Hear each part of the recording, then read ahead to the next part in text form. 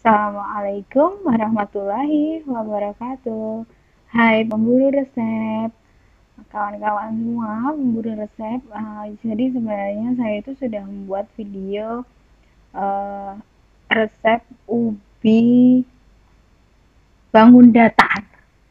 Resep ubi bangun datar. Jadi resep ubi bangun datar ini saya sudah buat videonya, tapi ternyata ketika uh, ada se sebuah kesalahan ketika memindahkan file atau bagaimana dan videonya hilang. Jadi yang tersisa hanya ketika proses menggorengnya saja. Uh, baiklah tapi nggak apa-apa ya. Lewat uh, foto-foto uh, slideshow yang saya berikan nanti saya akan uh, beritahukan uh, proses-prosesnya. Jadi sebenarnya ubi bangun datar ini dibuat dari ubi yang sudah dikukus. Direbus juga boleh ya. Nah nanti ubinya itu dihancurkan. Seperti ini bentuknya. Nanti kalau sudah dihancurkan ya. Nah setelah dihancurkan nanti ditambahkan tepung tapioka satu sendok makan dan tepung gandum atau terigu ya satu sendok makan juga. Nah, nanti dicampurkan di dalam uh, ubi yang sudah dihaluskan tadi. Kemudian, jangan lupa juga untuk memasukkan satu sendok makan gula pasir. Walaupun ubinya sudah uh, manis, tapi dengan tambahan bantuan gula pasir, itu ubinya semakin nanti akan terasa lebih legit lagi. Kemudian uh, setelah diaduk rata ambil beberapa bagian ya ambil sebagian kecil lah ya sekitar mungkin 20 gram sekitar 20 gram nanti diisi dengan meses diisi dengan meses atau kalau kawan kawan-kawan pemburu resep suka dengan keju boleh diisi dengan keju pula. Ya selain mengisi dengan keju atau coklat meses nah, kawan-kawan juga bisa memadukan keduanya. Jadi bisa pula diisi keju plus ditambah coklat meses. Nah ini lebih uh, legit lagi rasanya. Kemudian setelah itu ditutup dibentuk segitiga. Boleh dibentuk jadi segi empat. Boleh. Atau dibentuk menjadi uh, segi panjang lonjong seperti ini boleh.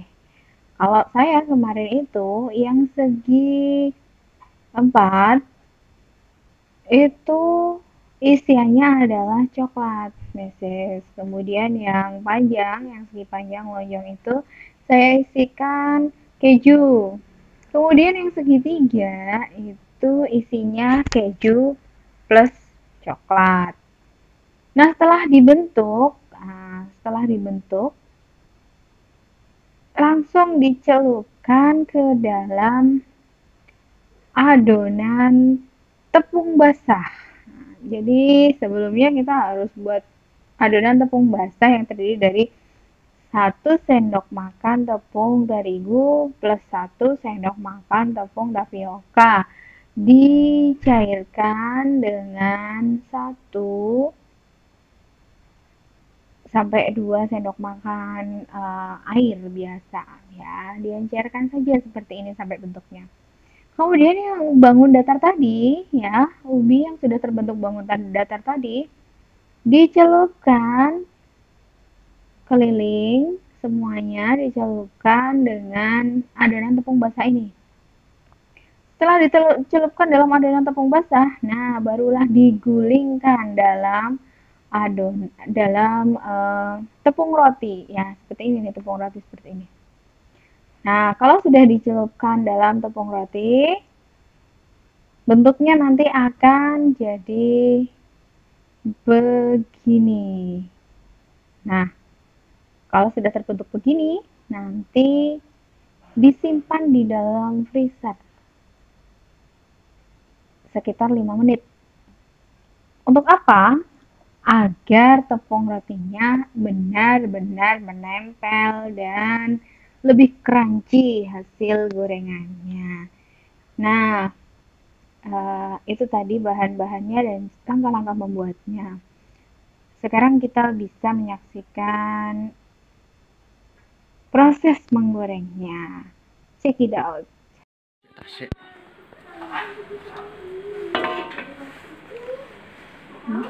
Ini tekstur setelah 3 menit keluar dari freezer nih. Nah, ini semua sudah menempel atau padat. Padat sekali. Ini kita nyalakan kompornya dengan api yang sedang saja kita tunggu sampai uh, minyaknya panas. Benar-benar panas. Kalau minyaknya tidak benar-benar panas nanti bisa membuat uh, makanannya terlalu banyak menyerap minyak. Jadi kita tunggu sampai benar-benar panas. Ini belum panas ya belum panas. Baik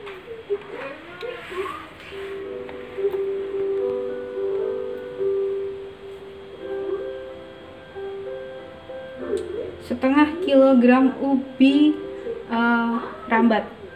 Jadi 8 9 10 11 jadi 11 4 isian keju 4 isian coklat dan 3 isian keju dan coklat bentuknya berbeda-beda. Belum panas.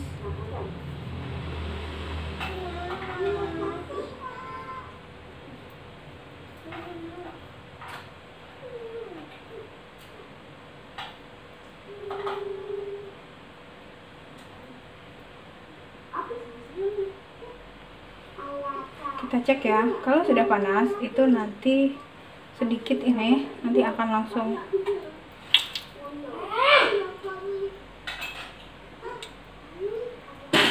Sudah agak panas ya bunda.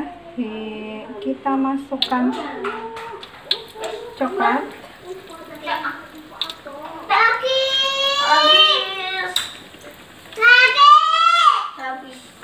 Coklat ya. Kan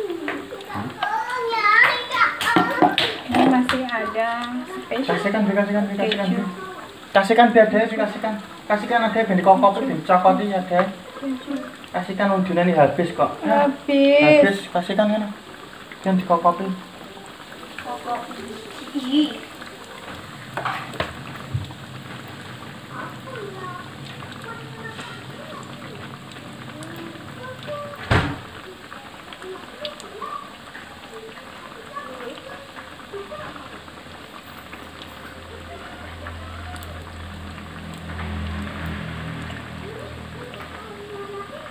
jangan membolak-balik gorengan ya. Kalau membolak-balik gorengan nanti uh, minyaknya juga banyak terserap dalam makanan. Kita cukup membaliknya satu kali saja. Ketika memang uh, sudah benar-benar berubah warna ini belum. Belum berubah warna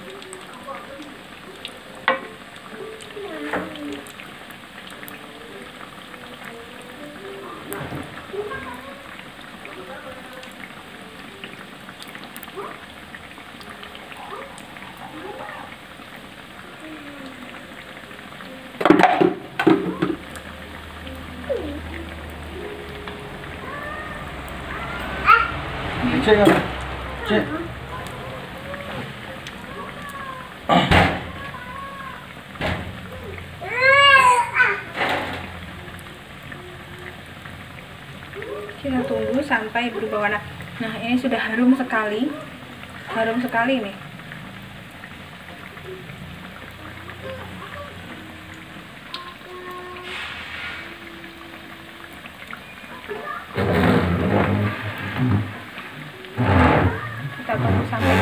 garing.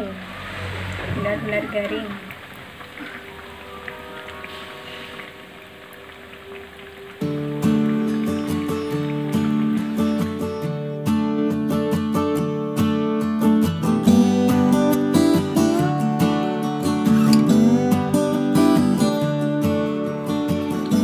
Ini dia jadinya. Iya, Ujung jalan.